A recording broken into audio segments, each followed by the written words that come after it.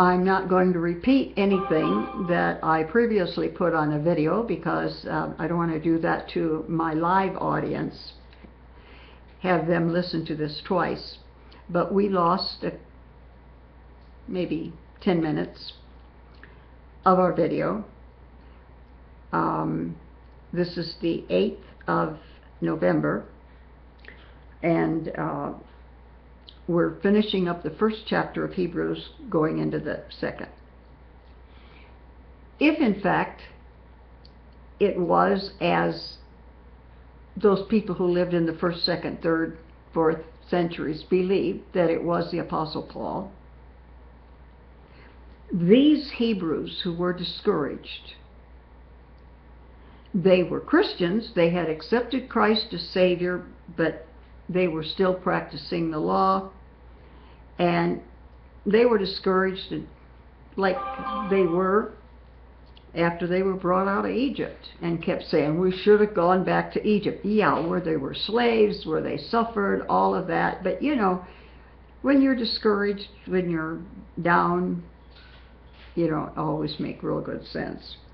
So those are three of the possible writers, and I believe that the reason they didn't say who it was was that they would not have been taken seriously for one reason or another. And that's the reason it was written, was to encourage them to continue serving Jesus. And that's why every time you turn around, you read in the book of Hebrews, Jesus is greater than the angels. Jesus is greater than Moses. Jesus is greater than Joshua. Jesus is greater than David. Uh, later we're going to get Jesus was uh, uh, out of the order of Melchizedek, which I'll explain to you, if not tonight, next Sunday night. All right, the last um, little bit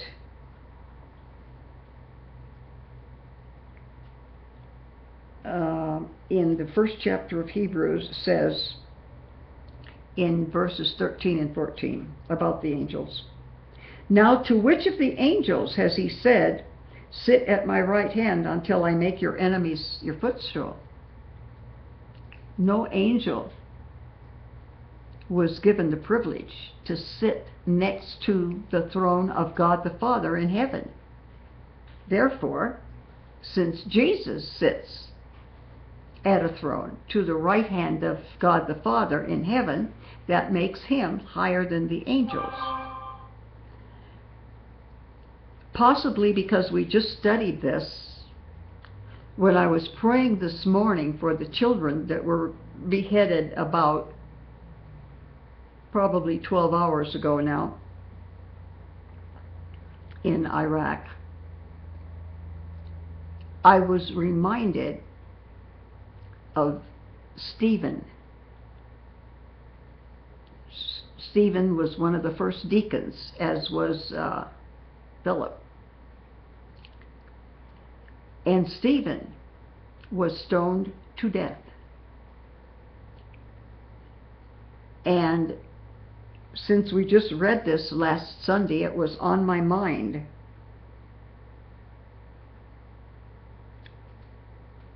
that angels are ministering spirits sent out to those who are going to inherit salvation. But God the Father said to Jesus, Sit at my right hand. When the religious fanatics stoned Philip to death, it came to me this morning when I was praying for those children on another video that Stephen, as he was dying, being killed for his faith, like these Christians, and it's Franklin Graham's, Billy Graham's son, uh, who wrote the uh, email that I included in the video this morning. and the UN has pulled out, and uh, their group that has been sneaking food in to the last remaining Christians are there, and, and they were only 10 minutes when that was written, probably about 12 hours ago, uh, or maybe a little bit more. But it reminded me of his dying for his faith. And our brothers and sisters in, in Jesus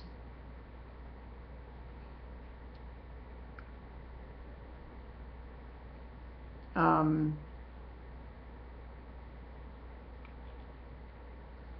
well, I care about everybody. There's a question uh, for those of you on the video don't know, but uh, we have a chat box, and um, I really care about everybody, especially Christians who are dying for their faith. I answer questions at the end of the teaching, so if you want to hang around till then, we can discuss it if you like. But it reminded me that when Philip was dying for his faith, he looked up and he saw Jesus standing at the right hand of God the Father, not in his normal position of sitting. And that made me think of this song. So over the week, since last Sunday, I looked it up and, and found the words and was able to make the music for it. All right, now we go to chapter 2. We must therefore pay even more attention to what we've heard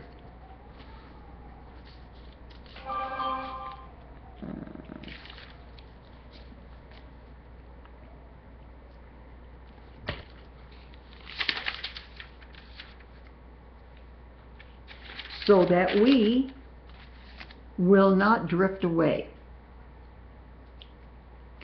For it is the message spoken through the angels was legally binding, and every transgression and disobedience received a just punishment. We're going to talk either tonight or next uh, Sunday night about crime and punishment in the Old Testament and in the New Testament. Everything in the Old Testament pointed toward the New.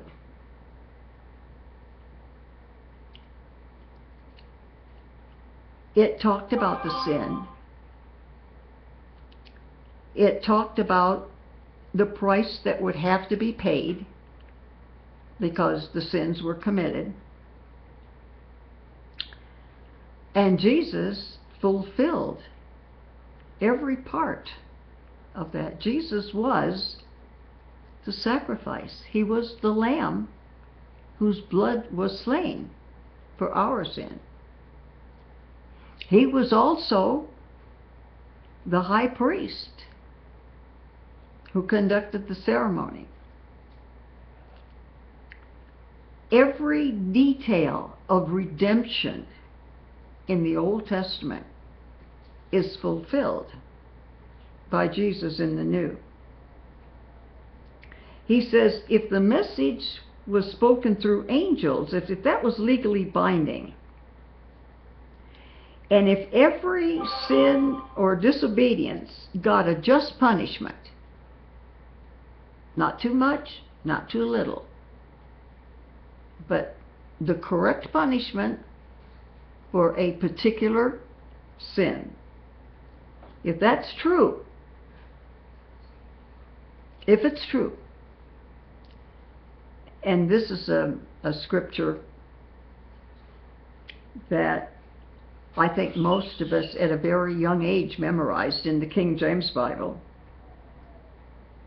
How shall we escape if we neglect so great a salvation?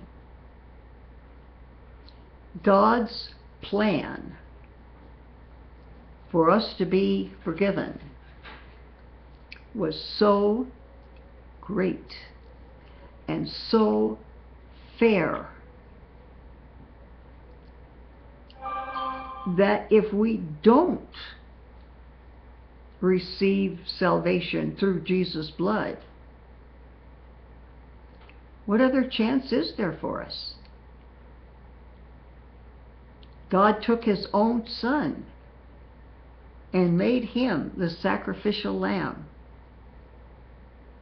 If we throw that in God's face, what hope do we have for any other plan of salvation? How will we escape if we neglect so great a salvation? It was first spoken by the Lord, and it was confirmed to us by those who heard him. At the same time, God also testified by signs and wonders and various miracles and the distributions or the gifts from the Holy Spirit according to his will. We have one more, I think, I'm pretty sure, one more lesson next Sunday on the gifts of the Holy Spirit before we finish that series of about four lessons. It was first spoken by the Lord and it was confirmed to those who heard it.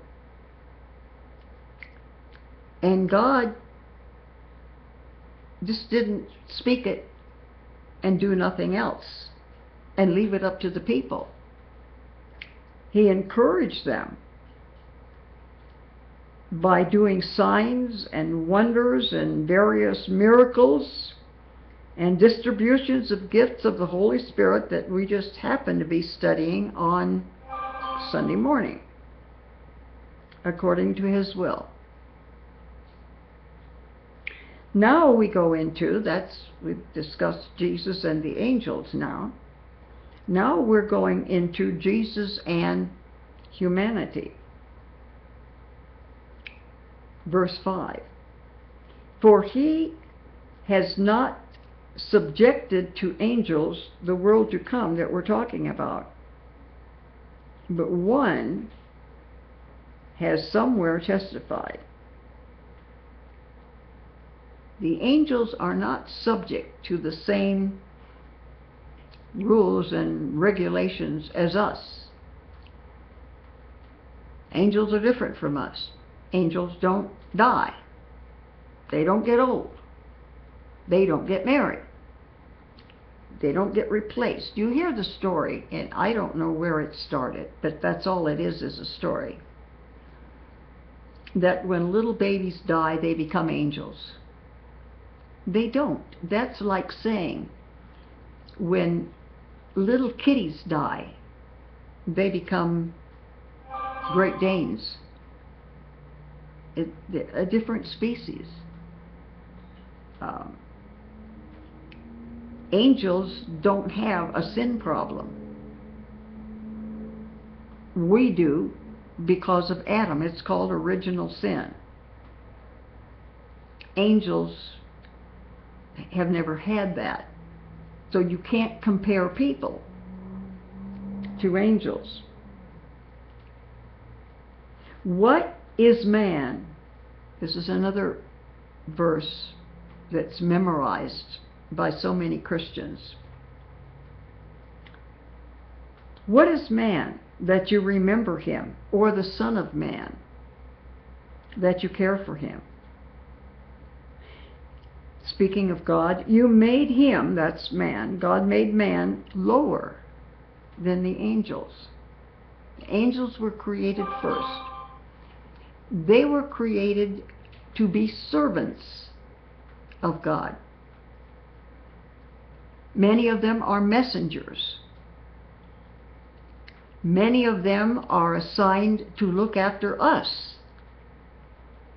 And you see pictures of young children going over a bridge and the angels are nearby.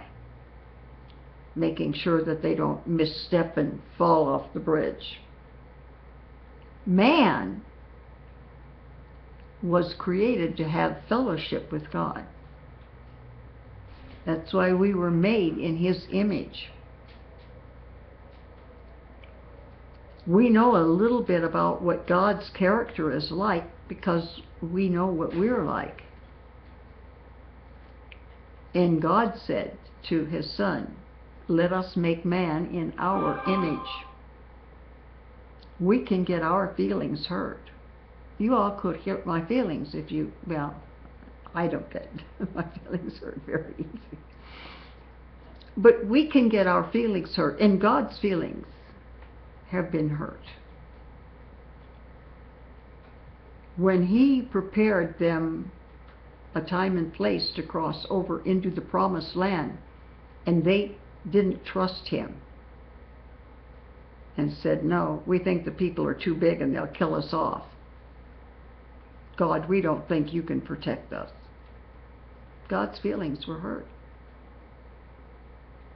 We know something about the nature of God because we understand ourselves and we're made in His image.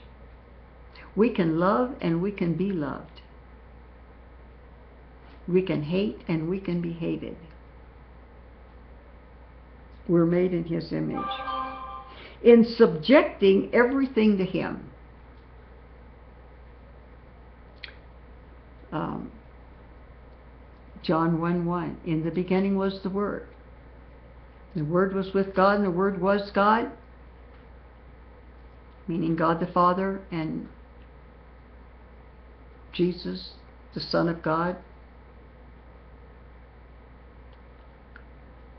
Uh, also, God spoke things into existence. For in subjecting everything to Him, He left nothing that's not subject to Him. The weather is subject to Him, animals are subject to Him, even kings. That's why it's so hard to pray for things that happen during wars and so forth, because we know that at any time God could step in and change things. He has an overall plan, and He's not likely to change anything that would affect His overall plan. And that's why when we see children sick and dying or being killed, uh, and we see people suffer, it hurts us. Everything is subject to Him. That's why we pray. But we do see Jesus made a little lower than the angels for a short time.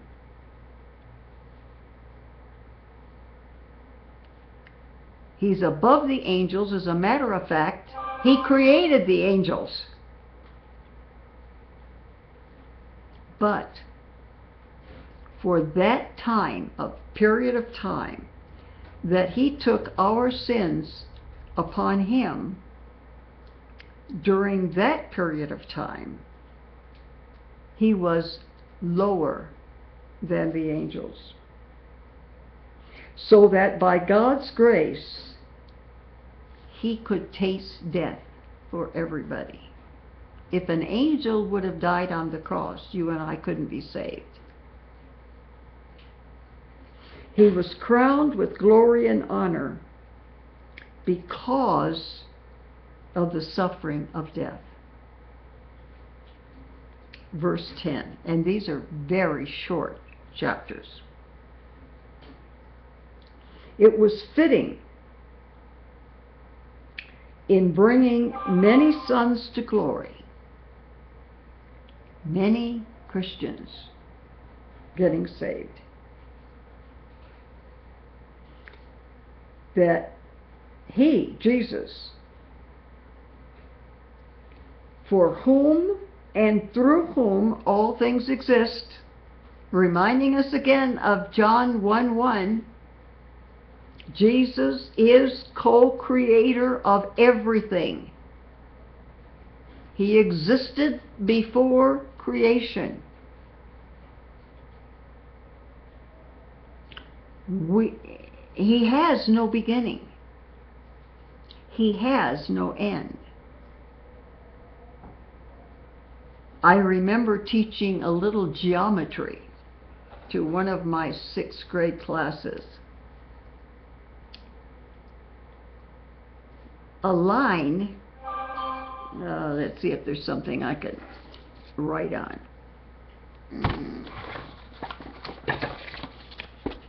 In geometry, well, let me show you a ray first, because then I can do it all with one picture. A ray looks like that, like an arrow. It points in one direction. On the side that has the arrow, in geometry, that means it goes on and on and on and on and on forever in that direction. Future. That is mankind. There is a point at which we're born. And once we're born, we then live eternally. Here, heaven, hell, wherever. Once we're born, we then have eternal life. A line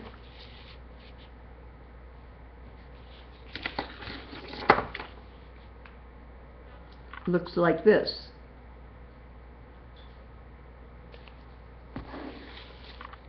As far as future, it goes on forever and ever and ever and ever. But as far as beginning, it goes forever and ever and ever and ever. And because the earth is circular, I was, I remember, it's just one of those things that just hit me uh, suddenly while I was teaching. Happens sometimes when I'm preaching. I remember telling my class that because the world is round, that thing could go out of our classroom into another classroom and go and come back over here and wind up in the exact same spot. That is God. No beginning and no end. We have a beginning and no end. God has no beginning and no end. He always has been. He always will be. That makes him different from the angels. And I've already mentioned the differences between us and the angels. Um,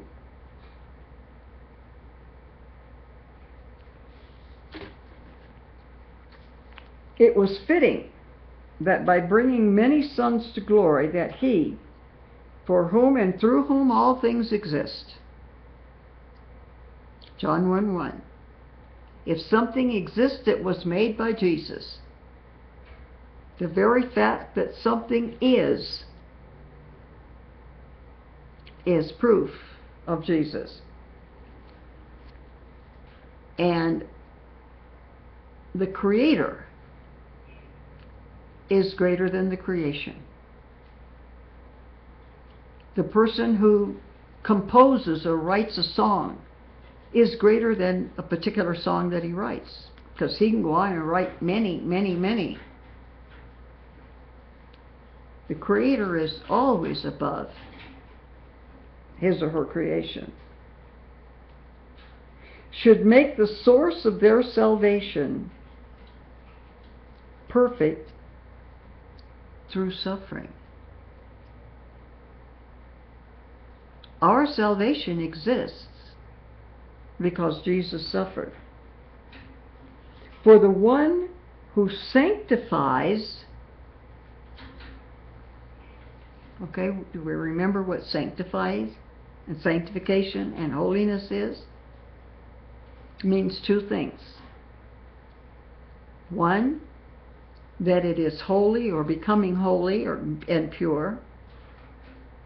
The other, that it's been set aside for a particular service. So when we buy a new organ or a new piano for the church, we dedicate it for the work of God to be played in that church.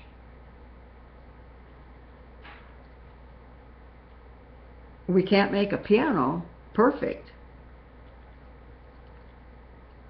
but we can promise to use it for a specific purpose. So the one who sanctifies, the one who makes someone else holy, that would be God the Father, God the Son, God the Holy Spirit. The one who sanctifies and those that are sanctified have one Father. So we're the ones who are set aside for a particular purpose to serve God. And God is the one who sets us aside. So we are one with Christ. And as the Bible says in another place, we're joint heirs with Christ. He's God's Son. And we're children of God. So as the children inherit from their parent, Jesus inherits, but we co-inherit with him. That's why Jesus is not ashamed to call us his brothers. I'm going to go back and read that. For the one who sanctifies and those that are sanctified have one Father. That's why he's not ashamed to call them brothers, saying, and this is what Jesus says, speaking to his Father, I will proclaim your name to my brothers. Jesus is telling God the Father, I will tell your other sons and daughters, the ones that are saved. I will proclaim your name to my brothers. I will sing hymns to you in the congregation. Jesus is promising to worship his Father. Again, I will trust in him. And again, here I am with the children God gave me. Now we've got four more verses in this chapter. Again, I will trust in him. And again, here I am with the children God gave me. These are the words of Jesus. Now, since the children have flesh and blood in common,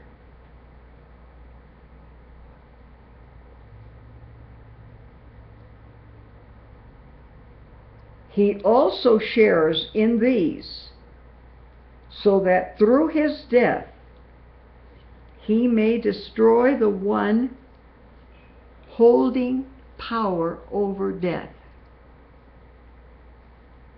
That is the devil. So when Jesus died on the cross,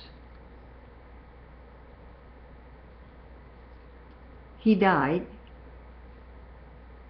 to forgive us our sins or to make it possible so that we could have our sins forgiven.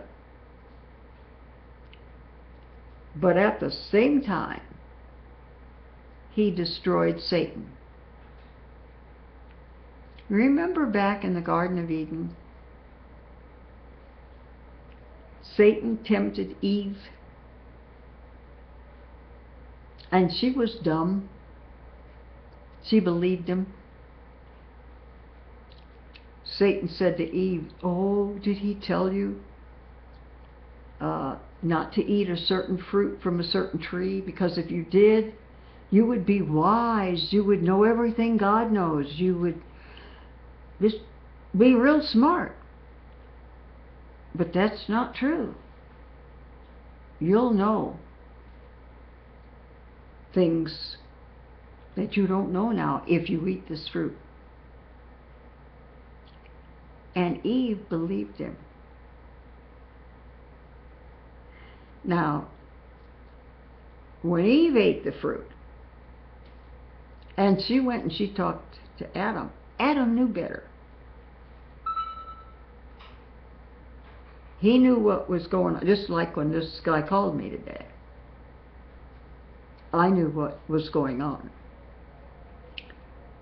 And I had to do some things to protect myself. These people were going to show up with $5 million and a brand new Lexus for me. Can you imagine that? Uh, they were going to be on my doorstep. Uh, I knew better. I know there's people my age that can't find the start button on a computer. But I happen to be one of the older people that pretty hard to fool. And Adam knew better. Uh, this scam, and it's it's out of um,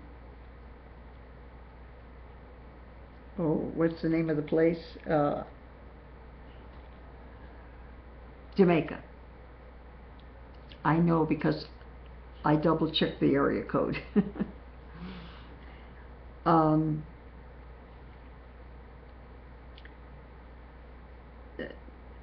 most scams, they'll say, "Well, we're going to give you five million dollars, but but we need a um, thousand dollars in taxes."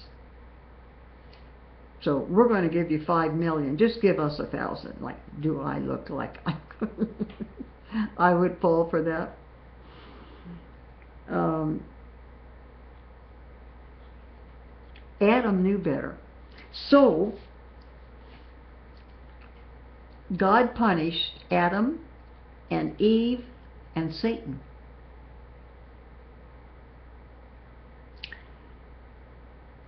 Adam and Eve would not live forever.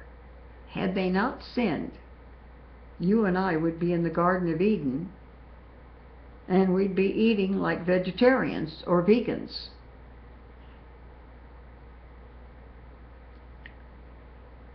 But Adam's punishment was you're not going to sit under a cherry tree and do nothing but play with Eve you're going to work and you're going to get tired and your muscles are going to hurt and your back's going to go out.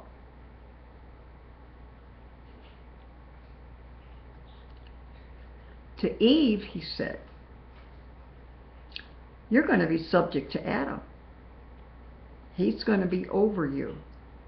He'll tell you what to do and you'll say, yes, dear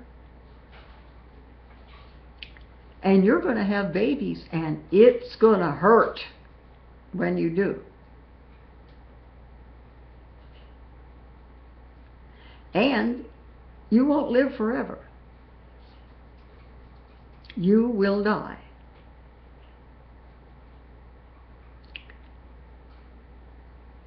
But the serpent, the devil, also got a punishment.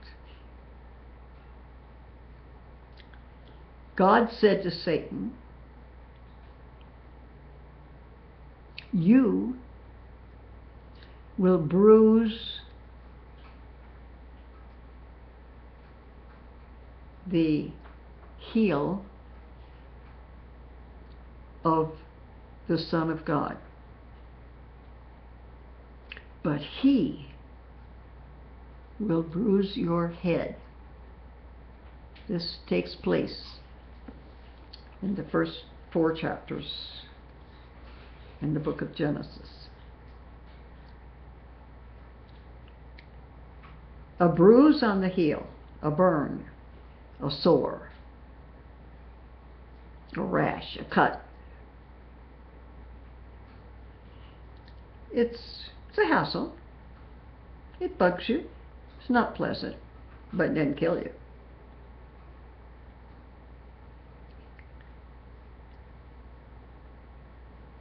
The Son of God to you will bruise your head.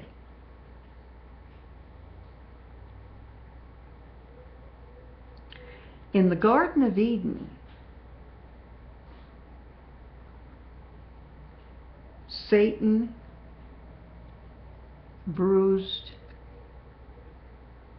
the head, I'm sorry, the heel. An inconvenience, a dis-ease, means not to feel at ease. That's what dis-ease, disease is. But on Calvary, the Son of God bruised the head, gave a fatal wound. Let me read that verse again now that I've explained it. Encourage each other daily. Whoops, wrong column.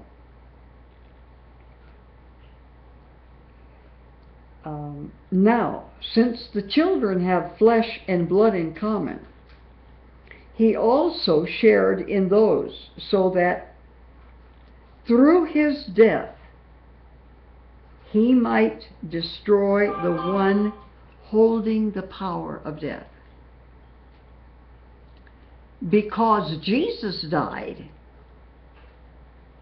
he destroyed the power that Satan had over us. And if we trust in him, we can be victorious over physical death and we would have been over physical death.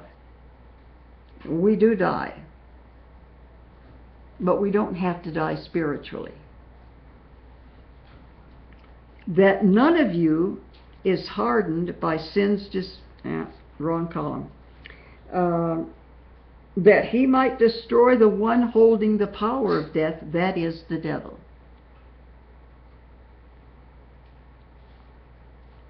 Uh, got a couple more verses to go. And free those who were held in slavery all their lives by the fear of death. We don't have to fear death anymore. I admire those who are faced with suffering or death for their faith. Some people would say, well, I'll lie. I'll say, sure, I'll convert because it's die, be beheaded, or convert. And some will say, in my heart, I'll love God. But with my mouth, I'll tell that fool, yeah, I'm a Muslim.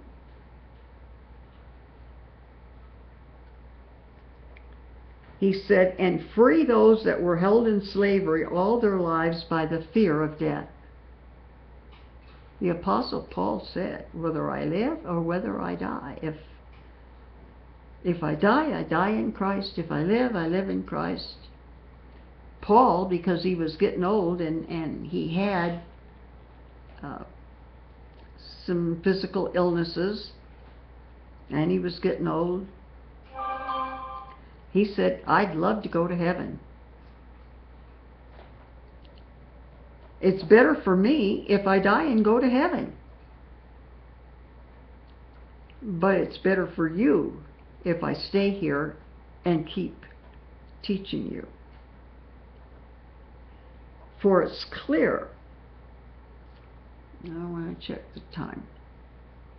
For it's clear that he does not reach out to help angels. Of course, angels don't die. But to help Abraham's offspring. And we have so many commonalities between our Sunday morning, Sunday night, and Wednesday night services that I keep finding things that are similar. That God doesn't reach out to help angels, but He reaches out to help Abraham's offspring. And I mentioned this morning who Abraham's, well, maybe I mentioned it in the video I made. I don't know. It's been a long day. I've been up since 3. But God does reach out to help Abraham's offspring. And who is Abraham's offspring? We all are. The Jews are offspring of Abraham, Isaac, and Jacob the Arabs, Egyptians, the, those from Libya, those from Arabia, those from the East. They are Abraham's descendants. Why? Because before Isaac was born, Abraham's wife Sarah said, pretty old and have no children. So why don't you um, go into my maid? The children will be mine legally because she was, as a product of slavery in those days, she was Sarah's property. So it's just like when my birds have babies, they're mine.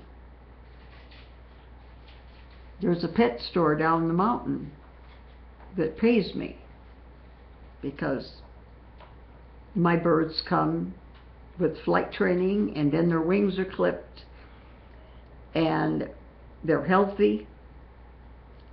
They can be in cages, they can be out of cages. Uh,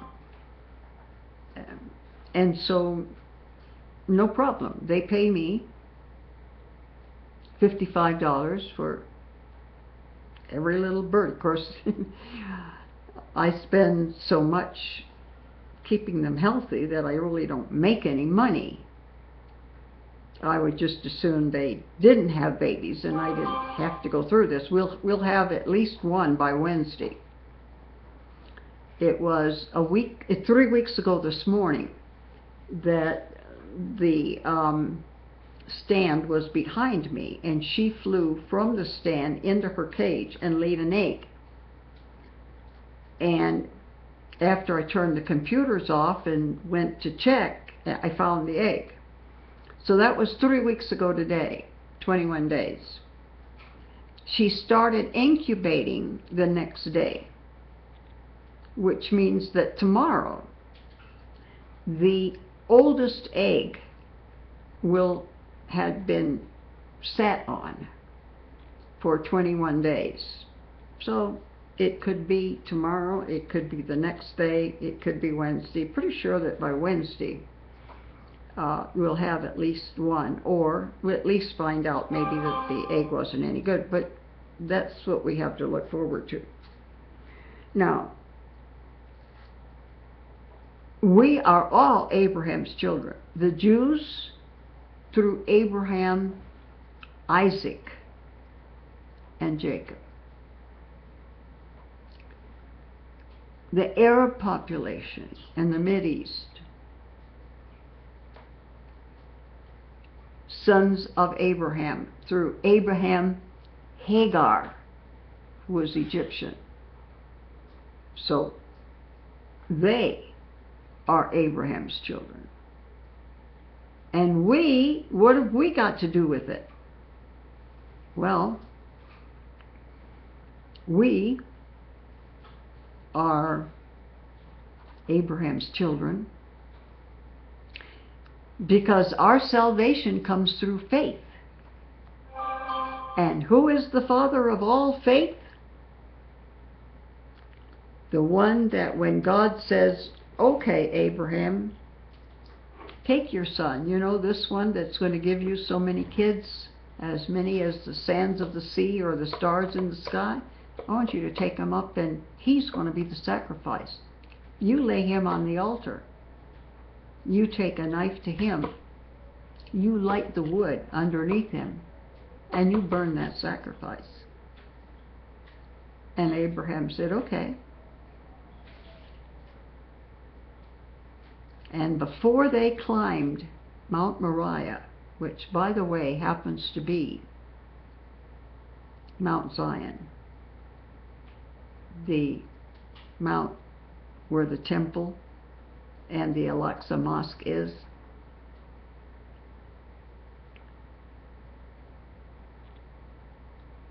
Before he went up there, he said to his people, the lad and I will go on. You'll stay here. We will return. Now, you can't have it both ways. You can't take your son's life and sacrifice it and then return with him. But Abraham says, okay. Not only did he tell God, okay, but he told people, the lad and I will return. How can you take a knife to somebody and say, uh, we'll be back shortly? The book of Hebrews tells us the answer was Abraham believed in the resurrection. We don't have the resurrection of Jesus yet. We don't have Lazarus being raised from the dead. Where did Abraham get this idea of the resurrection? He believed God. Believed God could do anything. For it's clear that he does not reach out to help angels but he did to help Abraham's offspring, which is the Jews, the Mid-Easterners, and the rest of the world, us. Therefore, and we're almost through for this evening, therefore, he had to be like his brothers in every way so that he could be a merciful and faithful high priest in service to God to make propitiation for the sins of the people. Jesus had to become like us so that he could be a high priest. Now, Jesus is already the sacrifice. He's the animal that people brought to the temple when they sinned. And the priest would lay hands on the animal, thereby transferring the sin of the person who brings the animal to the animal, and the animal dies in place of the person. So by dying on the cross, Jesus becomes the sacrifice. But hey, it goes beyond that. And we're still in the second chapter. He goes beyond being the sacrifice.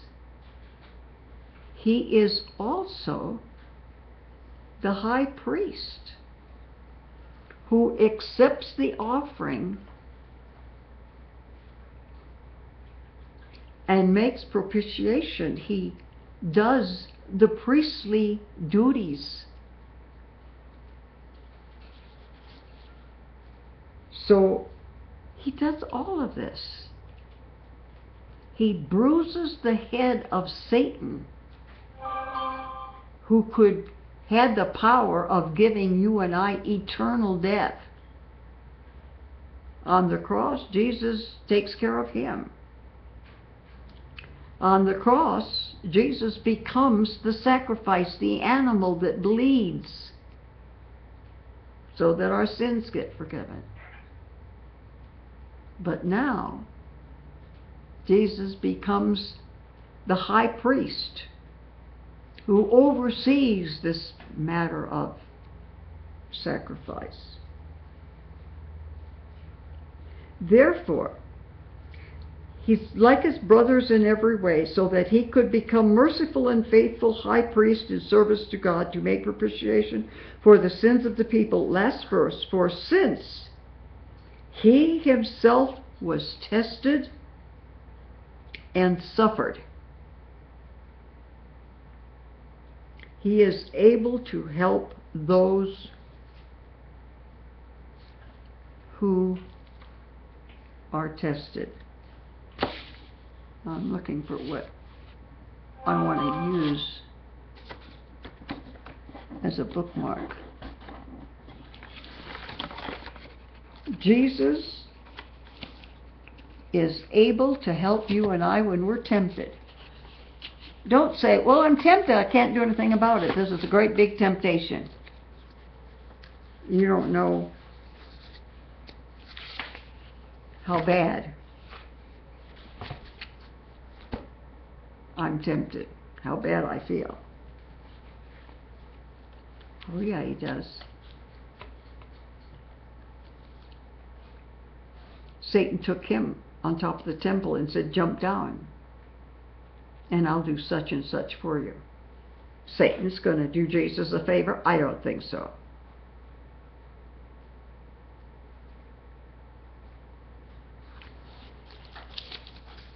the verse ends by saying, Since he himself was tested and he suffered. You can't say, well, God doesn't understand how bad it hurts.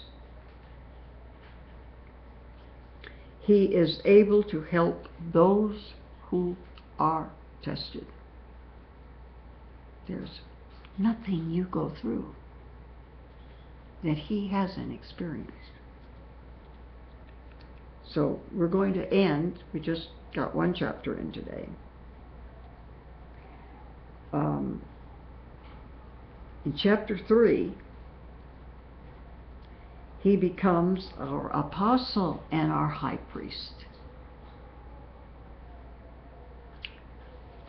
So he is the sacrifice, he is the priest who performs the service.